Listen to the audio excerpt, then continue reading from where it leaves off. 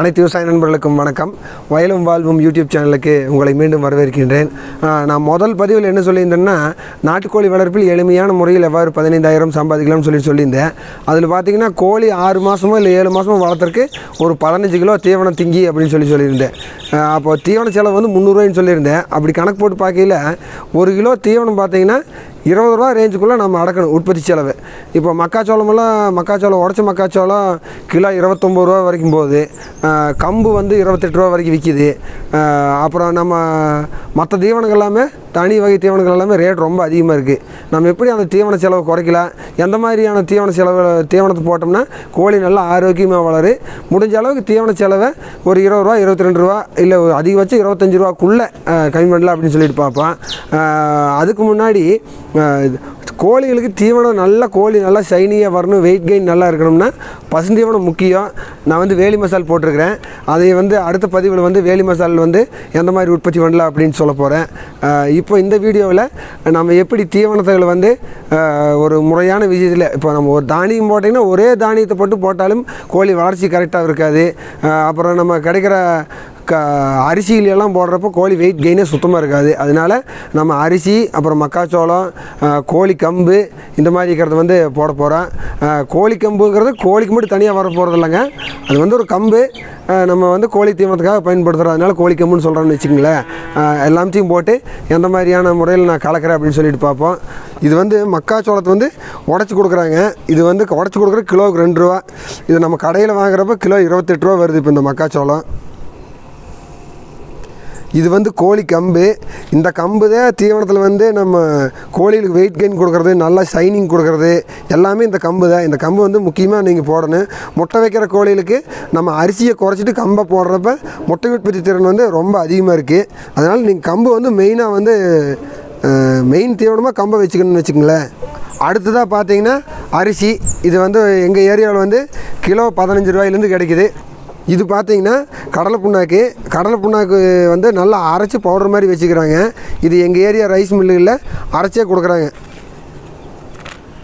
அடுத்து பார்த்தீங்கன்னா mineral mixture இது நம்ம மாடு வச்சுக்கிறப்ப கவர்மெண்ட் ஹாஸ்பிட்டலில் மாட்டு ஹாஸ்பிட்டலில் போய் கேட்டால் ஒரு பாக்கெட் கொடுப்பாங்க. இது வந்து நம்மளுக்கு கண்டிப்பாக வேணும். இது வந்து ஒரு ஒரு கை அளவுக்கு போட்டால் போதும். அதாவது நம்ம இப்போ பத்து பத்து கிலோ மிக்சிங் பண்ணுறோம் எத்தனை கிலோன்னு ரேஷியோன்னு சொல்கிறேன் அதில் வந்து நம்ம இது ஒரு ஒரு கை அளவுக்கு போட்டால் போதும். கண்டிப்பாக இது போடணும். போட்டால் தான் இந்த கோழிகள் பார்த்தீங்கன்னா ஒன்றுக்கு ஒன்று கொத்தாமையும் அந்த வால் பொங்கல் எல்லாமே இருக்குது அதனால் இது கண்டிப்பாக போடணும். இப்போ நான் சொன்ன தானியத்திலெல்லாம் பார்த்துருப்பீங்க. இதில் வந்து எவ்வளோ எவ்வளோ கிலோ அப்படின்னு சொல்லிட்டு பார்ப்போம். மக்காச்சோளம் பத்து கிலோ கோழி கம்பு பத்து கிலோ அப்புறம் அரிசி ஒரு இருபது கிலோ அப்புறம் கடல புண்ணாக்கு மணத்துக்காக ஒரு கிலோமு அப்புறம் மினரல் மிக்சர் வந்து ஒரு கை அளவுக்கு. இதை போட்டு கலக்கிடுவோம். இப்போ நாங்கள் வந்து ரெகுலராக பார்த்தீங்கன்னா இதே அளவு வாங்க மாட்டோம் அதிகமாக வாங்குவோம் எல்லாமே வந்து ஒரு இருபது இருபது கிலோ முப்பது முப்பது கிலோ வாங்கி அந்த ரேஷியோவில் கலக்குவோம் இப்போ இந்த வீடியோவுக்காக ஒரு பத்து பத்து கிலோ வாங்கி எப்படி கலக்கிறேன்னு சொல்லிட்டு காமிக்கிறேன்.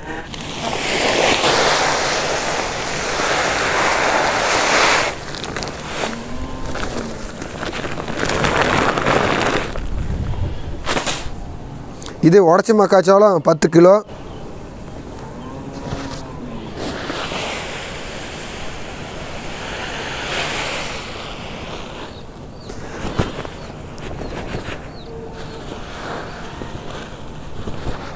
இது கோழி கம்பு பத்து கிலோ.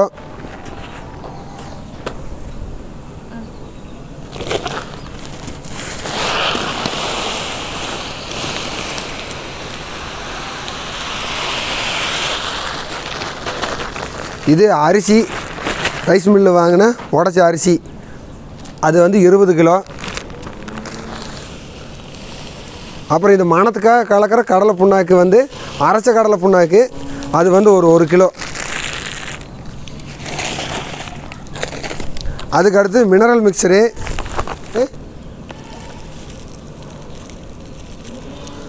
ஒரு ரெண்டு கை அளவுக்கு.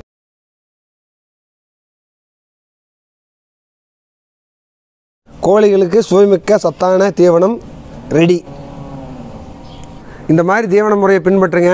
தீவனத்தோட செலவு வந்து நம்ம கண்டிப்பாக குறையலாம் கோழியோட வெயிட் கெயின் வந்து நல்லா இருக்குது கோழியோட வெயிட் கெயின் சேர்ந்து வரணும் அப்படின்னா அந்த கம்பு வந்து அதிகமாக போட்டிங்கன்னா வெயிட் வந்து நல்லா வரும் ஆனால் கம்போட ரேட்டு ஜாஸ்திங்கிறனால தான் நம்ம வந்து அரிசியும் மக்காச்சோளத்தை ரெண்டையும் சேர்த்து கலக்கிறோம். இந்த வீடியோ பதிவு உங்களுக்கு பயனுள்ளதாக இருக்கும்னு நினைக்கிறேன். அடுத்த பதிவில் வந்து நான் மாட்டு பண்ணையில் என்னோட வருமானம் எவ்வளவு எப்படி மாடுகளுக்கு தீவனத்தில் வந்து குறைக்கலாம் எந்தெந்த மாதிரியான விஷயங்களை வந்து நான் கடைபிடித்து வெற்றிகரமாக ஒரு கடந்த அஞ்சு வருஷமாக மாடு வளர்ப்பு பண்ணிகிட்ருக்கிறேன் அப்படிங்கிறத அடுத்த பதிவில் சொல்கிறேன் நன்றி வணக்கம். மீண்டும் ஒரு இனிய பதிவில் சந்திக்கின்றேன்.